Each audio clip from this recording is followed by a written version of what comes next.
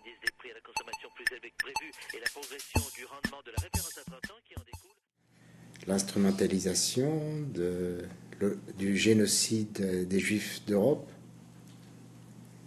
par, euh, pas seulement par Israël, mais par euh, toute la frange, enfin frange, tout, tout le mouvement qui en France, en France, soutient Israël,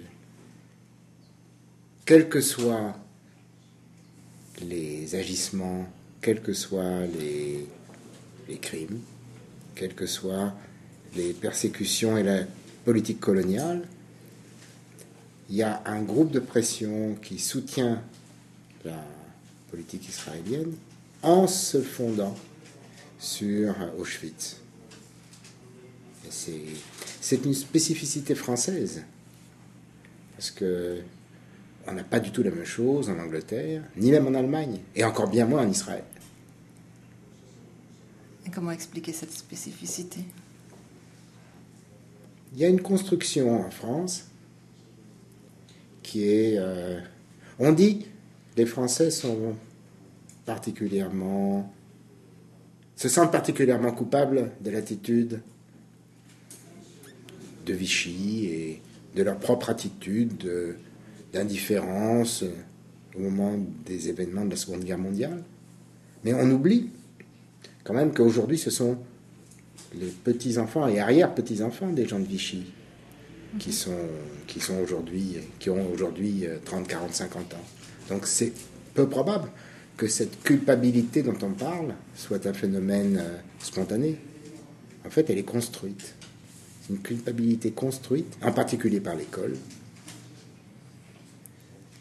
Et une fois cette, euh, culpabilité bien, établie dans les têtes, à ce moment-là, elle permet de,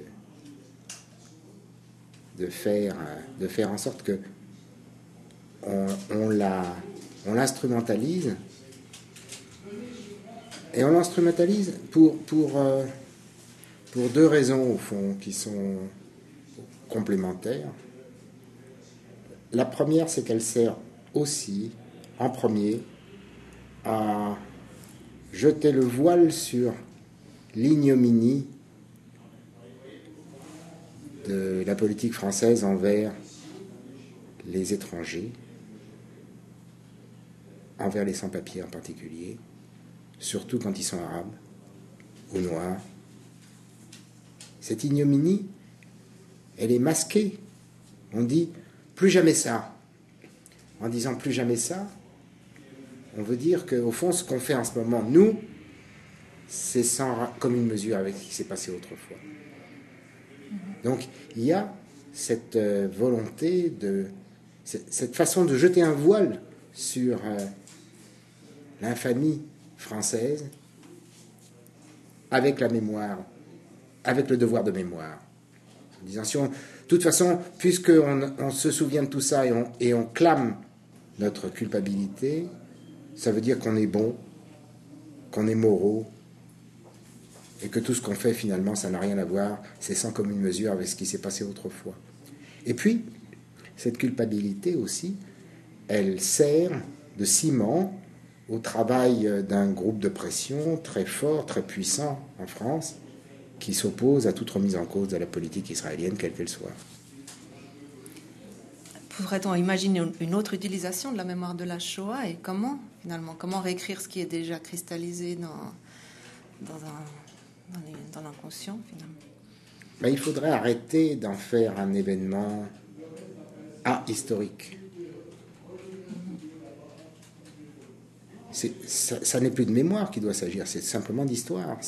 Mais tous ces groupes de pression dont j'ai parlé visent justement à ce que ça soit un phénomène euh, qui n'est pas historique, qui est métaphysique, qui est du de l'ordre de l'indicible, de l'innommable, de l'irreprésentable. On n'est plus dans l'histoire. On est dans l'émotionnel. On est dans l'émotionnel, on est dans la métaphysique, on est dans l'irrationnel, on n'est plus dans l'histoire.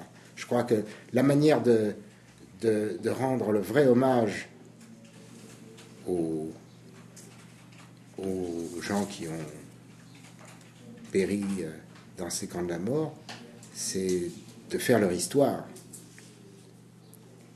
Ce que d'ailleurs ont fait les grands témoins, je pense à Anselme, à Antelme, à Robert Antelme, je pense à Primo Levi, je pense à Jean Améry, tous ces gens-là, euh, ils n'étaient pas du tout dans le devoir de mémoire, bien au contraire.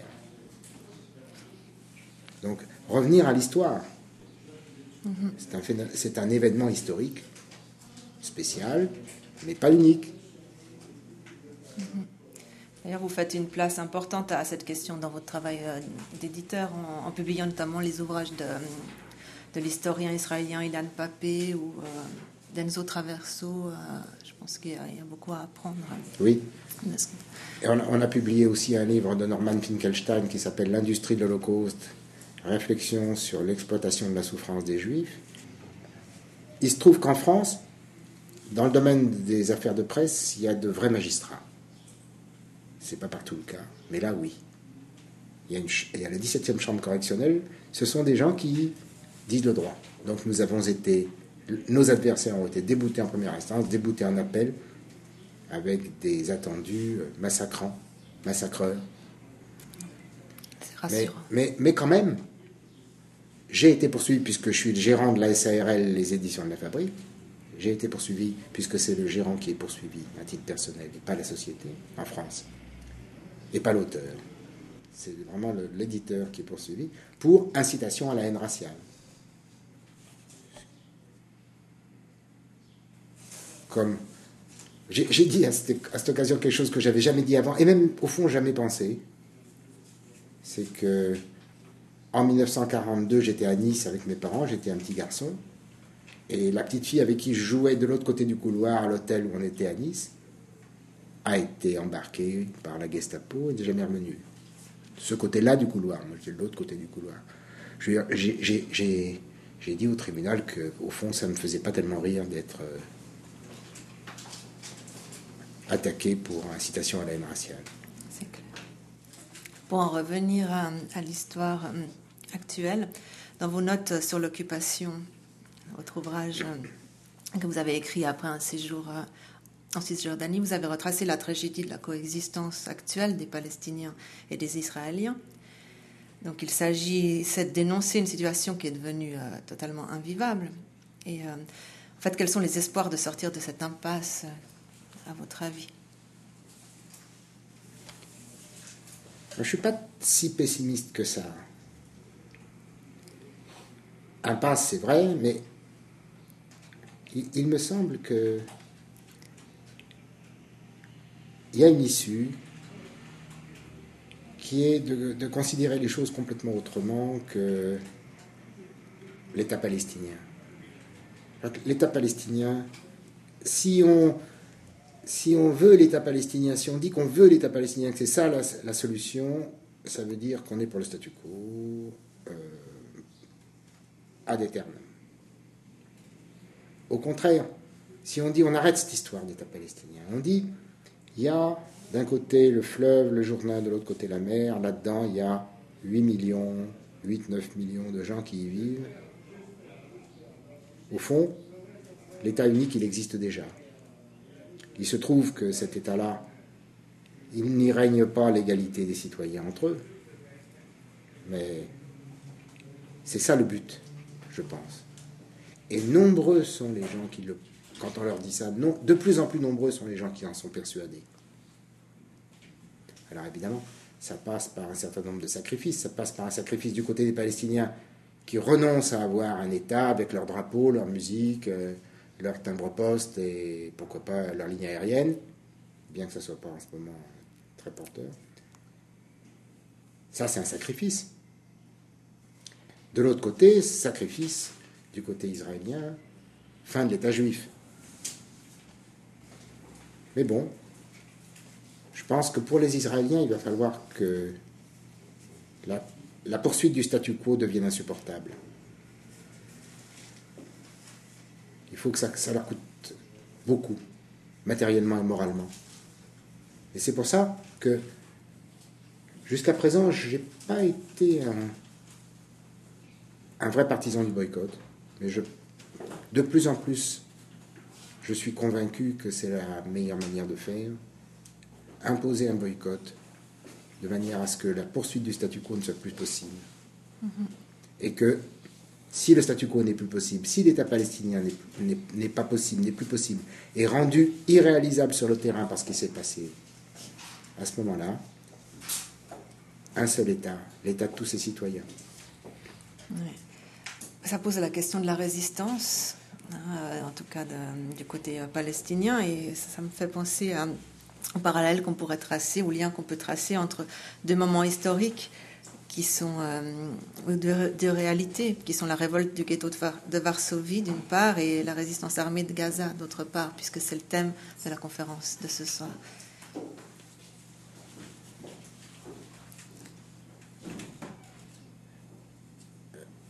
Je ne suis pas complètement convaincu. Je ne suis pas sûr qu'il faille. Je, pense qu'il n'y a pas besoin de comparer au passé.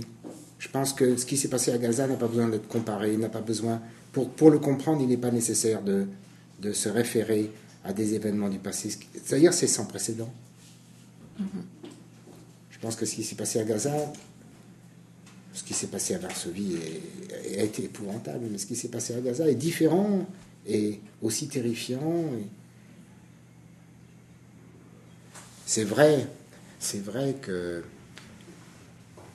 des officiers, des intellectuels officiers de l'armée israélienne ont soigneusement étudié les méthodes de la Wehrmacht à Gaza, à, Varsovie, pour euh, établir leur plan de répression de la résistance. Pas seulement d'ailleurs, ils ont aussi très très soigneusement étudié les, les travaux des colonels français pendant la campagne d'Alger. Mm-hmm. C'est vrai, c'est vrai. Mais ça pose la question de, la légitimité finalement de la résistance. Parce que la résistance, c'est quelque chose qui est valorisé, en tout cas en France, dans le discours sur la Deuxième Guerre mondiale. Donc il y a, quand même une contradiction de ne pas accepter la résistance, euh, enfin qu'on appelle terrorisme. Oui. Le, le, résistant de l'un est toujours le terroriste de l'autre. Hein. Je me rappelle parfaitement encore une fois, je fais appel à mes souvenirs de petit enfant. Je me rappelle parfaitement la radio de Vichy qui parlait des terroristes qui faisaient sauter les trains. Mhm. Donc c'est la perspective historique finalement qui, justifie la résistance. Alors pour euh, euh, parler de la France maintenant, vous êtes aussi assez très lucide concernant la situation en France. Vous avez écrit euh, un ouvrage intitulé Changement de propriétaire, la guerre civile continue un autre qui s'appelle L'insurrection qui vient. Non. Non, ça je me suis trompée. Non. Voilà. L'insurrection qui vient, les auteurs sont anonymes. Ah, voilà. Ils ont voulu garder l'anonymat et, je n'en fais pas partie de toute façon. Vous avez édité. Édité. L'insurrection qui vient. Dans ces deux ouvrages, enfin en tout cas dans Changement de propriétaire, vous analysez la question de la guerre civile et de la répression en Europe. Et euh, vous dénoncez notamment une forme d'affrontement global entre les gouvernements et les peuples. La guerre civile, je pense que c'est quelque chose qui est constitutif de notre façon de, de notre société, de notre mode de vie, de notre, société, de, notre façon d'exister. Ce n'est pas quelque chose vers lequel on va, c'est là. C'est un état que la domination et les médias cherchent à masquer par tous les moyens, mais c'est là en ce moment, en France, tout le monde est stupéfait de voir que d'abord les ouvriers existent, parce qu'on avait dit c'est fini, il n'y a plus d'ouvriers. Ah, mais si, il y a des ouvriers, il y a des usines, des usines qui ferment, des patrons qui sont séquestrés, des négociations sous séquestration. Alors, euh, naturellement, Sarkozy dit c'est inadmissible, euh, c'est la violence, euh, c'est, on n'est plus dans l'état de droit, comme si on y était euh, la, semaine précédente. Mais ça, c'est quelque chose de tout à fait nouveau. C'est un des phénomènes de cette guerre civile. La, réapparition des ouvriers sur la scène. Parce que jusqu'à présent, ça, fait longtemps qu'on nous dit qu'il n'y a plus de classe ouvrière, qu'il n'y a plus d'ouvriers, tout ça c'est fini, c'est du passé. Mm-hmm. Soudain, ah, ils réapparaissent. Oui, ça passe notamment à travers le langage, comme vous l'avez euh, décrit dans, dans la langue de la, la Ve République, la propagande au quotidien, où justement vous stigmatisez euh, euh, notre façon de nous exprimer, enfin en tout cas de la façon des médias et des, politiques de s'exprimer, qui fait partie de cette forme de dépolitisation. Oui, oui, de, masquage de la guerre civile on ne parle plus de classe, on parle de couches, de tranches, de catégories, mhm. mais jamais de classe. Mais comment s'en sortir si même le langage, euh, c'est-à-dire finalement la pensée, est colonisé par, euh, par le pouvoir? Il faut décoder les mots. Il faut, il faut que tous... Je, je dois dire que ça, se, produit quand même. Je pense que les gens aujourd'hui, euh, les gens rigolent quand on, quand on dit maintenant partenaires sociaux. Parce que les partenaires sociaux, les partenaires, je sais pas, j'ai jamais fait de tennis, mais enfin les partenaires au tennis, ils sont du même côté du filet. Ils sont pas de part et d'autre du filet. Donc quand on dit les partenaires sociaux sont rencontrés, ça veut dire quoi? Ça veut dire que les syndicats, les, directions syndicales, le patronat et le gouvernement marchent la main dans la main, ils sont du même côté du filet. C'est un aveu. Et ça, je l'ai dit et redit dans pas mal d'endroits, et les gens commencent à en rire. Ce genre de choses. C'est comme, il n'y a plus de pauvres. Il y a des gens de conditions modestes. Comme si ça ne suffisait pas de ne pas avoir d'argent, qu'il fallait en plus être modeste, hein. Ne pas être orgueilleux. Ça aussi, ce sont, des, ce sont des Petit à petit, il me semble que ce décodage, il y a eu pas mal d'autres bouquins qui sont parus, des articles. Cette langue commence à être euh, décodée grâce à Internet aussi, il est maintenant possible de diffuser, aussi de consulter des informations sans nécessairement disposer de moyens, notamment financiers euh, particuliers. Donc c'est notre cas ici à la chaîne.ch, qui en tant que média citoyen propose une alternative aux, médias dépendants de lobby ou euh, de pouvoir politique. Est-ce que vous considérez que ce genre d'initiative devrait se multiplier? Est-ce que c'est un bon choix? C'est évidemment euh, quelque chose qui est qui est nouveau et essentiel. Par exemple, bon, je, vais encore parler de moi, mais bon, j'ai écrit au moment de Gaza un article, un papier, pas un article, mais un texte qui était intitulé La deuxième mort du judaïsme. Disant, bon, le, judaïsme, cette tradition qu'on peut, peut aimer, qu'on peut respecter, enfin bon, cette tradition en tout cas, ceux qui la portaient, ils, sont, ils ont été exterminés. Mais cette tradition, elle est morte une deuxième fois au moment de, des massacres de Gaza. ce papier-là, je savais parfaitement qu'aucun journal ne le prendrait. C'était même pas la peine de l'envoyer. Et, je l'ai fait passer sur Internet, sur trois ou quatre sites amis, et j'ai été sidéré euh, du, retentissement que ça a eu, du nombre de messages que j'ai eu, euh, plutôt de soutien, pas tellement de, pas, tellement de messages d'insultes, mais des gens qui disent ouais, ouais, c'est ça, c'est juste. Mhm. Beaucoup plus même qu'un un rebond dans Libération n'en aurait suscité. Donc je crois que c'est vraiment bien. Et encore dernièrement, à propos de l'affaire de Tarnac, j'ai été convoqué par l'antiterrorisme comme témoin. C'est passé dans un site français qui s'appelle Rue 89 et ça a énormément diffusé partout. Donc je pense qu'en effet, d'abord c'est plus rapide et puis euh, c'est beaucoup moins censuré que, que la, presse. Je parle même pas de la télévision. N'en parlons pas. La télévision française, il ne passe rien de rien sur rien la radio un tout petit peu, et la presse, la grande presse, pratiquement très très très très peu de choses. Mm. Alors Internet est vraiment très précieux, et de plus en plus. Et de plus en plus de gens le regardent. C'est, ça devient aussi important que la presse écrite. On peut être critique d'ailleurs euh, par rapport au travail des journalistes en, général aussi, de part peut-être une certaine euh, formation, une certaine euh, voilà. Formation, c'est important. Vous avez raison. Je pense que beaucoup de journalistes qui travaillent dans ces, grands journaux, au fond, ils sont pas censurés. Ils n'ont pas besoin d'être censurés. Il n'y a personne qui regarde par-dessus leur épaule. Mais ils, viennent des mêmes milieux et surtout, ils sont passés par les mêmes écoles, c'est-à-dire l'école de journalisme, qui est tout à fait dans l'esprit de l'école des sciences politiques à Paris, qui est une école, au fond, le temple du libéralisme.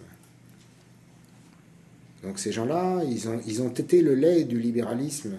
Et il n'y a pas besoin de, les censurer pour qu'ils reprennent ce langage et qu'ils reprennent les, discours officiels concernant tout, euh, la Palestine, euh, le terrorisme. Ils reprennent ça sans qu'on ait besoin de les forcer. Merci. Vous vouliez euh, peut-être ajouter quelque chose? Non, merci beaucoup.